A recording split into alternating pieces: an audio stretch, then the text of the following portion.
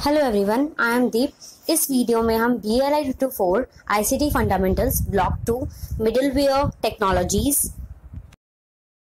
unit five office tools word processing presentation and spreadsheet part one में हमने basically Libre office क्या होता है और राइटर के बारे में देखा था कि राइटर को कैसे इस्तेमाल करते हैं।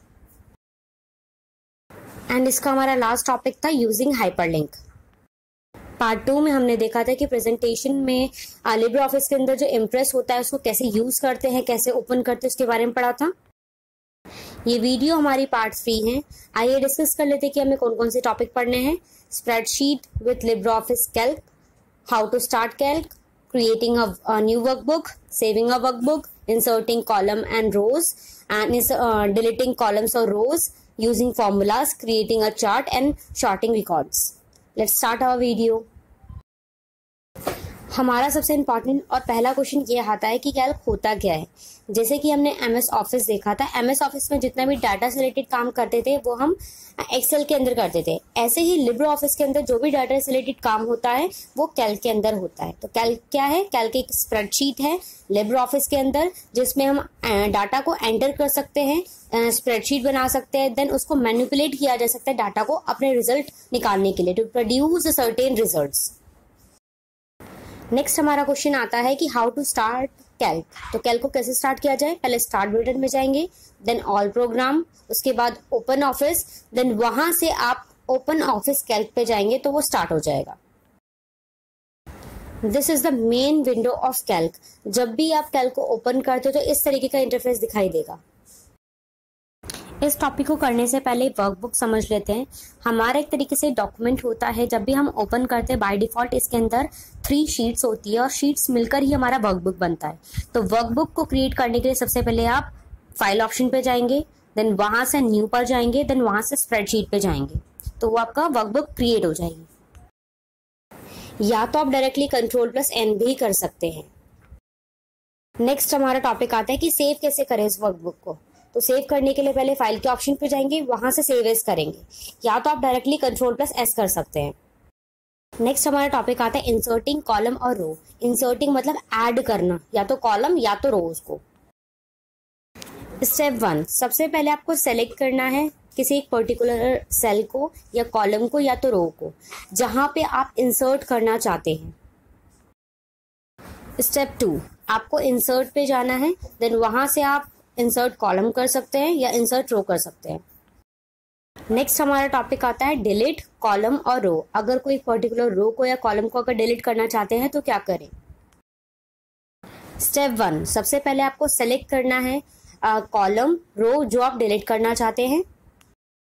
स्टेप टू वहाँ से आप एडिट ऑप्शन पे जाएँगे, वहाँ से डिलीट सेल कर देंगे। या तो आप राइट क्लिक करके डिलीट को सेलेक्ट कर सकते हैं मेन्यू में से। नेक्स्ट हमारा टॉपिक आता है using formulas and function in Calc sum function is equal to sum bracket में आपको रेंज सेलेक्ट करनी है कि आपको किसका सम निकालना है।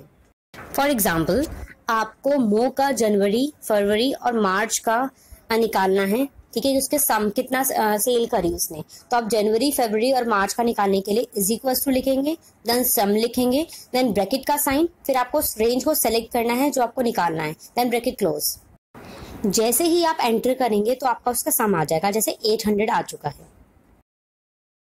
एवरेज निकालने के लिए हमें क्या करना होगा इज़ इक्वल्स टू देन उसके बाद रेंज सेलेक्ट करनी है आपको ओके okay? को भी एग्ज़ाम्पल के तौर पे समझते हैं, जैसे मो का हमें जैन का फैप का और मार्च का एवरेज निकालना है। तो एवरेज निकालने के लिए is equal to then average bracket open range select करेंगे इसकी एवरेज निकालने then bracket close then enter करेंगे। एंटर करते ही आपका एवरेज निकल जाएगा। नेक्स्ट हमारा फॉर्मूला आता है मैक्स मैक्स मतलब मैक्सिमम निकालना है। तो मैक्सिमम निकालने के लिए क्या करेंगे? Is equals to max bracket में आप उस रेंज को सेलेक्ट करेंगे then bracket close for example physics में सबसे ज़्यादा किसके मार्क्स आए हैं, वो निकालने के लिए हम क्या करेंगे? Is equals to max bracket open range select किया आपने देन ब्रैकेट क्लोज कर दिया। जैसे ही आप एंटर करेंगे, आपकी मैक्सिमम वैल्यू आ जाएगी, जो की थी सिक्सटी फोर ठीक है? आप देख सकते हैं सिक्सटी फोर अजय की थी। नेक्स्ट हमारा आता है मिनिमम मिनिमम निकालने के लिए is equal to min bracket में रेंज सेलेक्ट करना है देन ब्रैकेट क्लोज अब मान लो मुझे फिजिक्स में सबसे कम नंबर कितने, किसके आए हैं, वो निकालना है तो उसको करने के लिए is equal to main bracket में रेंज सेलेक्ट करी देन ब्रैकेट क्लोज जैसे ही आपने एंटर किया, आपकी मिनिमम वैल्यू ट्वेल्व आ गई. किसकी थी वो? आशु की. नेक्स्ट हमारा आता है परसेंटेज परसेंटेज निकालने के लिए जितने मार्क्स आए टोटल ऑप्टेन किए वो अपॉन में मैक्सिमम मार्क्स जितने मार्क्स का था मल्टीप्लाई हंड्रेड ठीक है? For example is equals to total marks जो ऑप्टेन किए हैं divide by maximum marks multiply hundred तो ये हमारा इससे परसेंटेज आ जाएगा एंटर करते ही। नेक्स्ट हमारा टॉपिक आता है चार्ट चार्ट को कैसे क्रिएट करें? उसको करने के लिए सबसे पहले आप इंसर्ट कॉलम पे जाएँगे। वहाँ से चार्ट आइकन पे क्लिक कर देंगे तो आप ऑटोमेटिकली चार्ट बन जाएगा आपका। नेक्स्ट हमारा टॉपिक आता है सॉर्टिंग रिकॉर्ड इसका मतलब क्या होता है? अगर मान लो हमने कोई भी नाम लिखा है या कुछ भी लिखा है, आप क्या चाहते हैं कि नाम अल्फाबेटिकली वाइज आए? मतलब असेंडिंग ऑर्डर में आए या डिसेंडिंग ऑर्डर में आए? ए टू जेड आए या जेड टू ए आए? तो ये सॉर्टिंग रिकॉर्ड हो गया. तो उसको करने के लिए सबसे पहले आप सेलेक्ट करेंगे जो भी आप सॉर्ट करना चाहते हैं.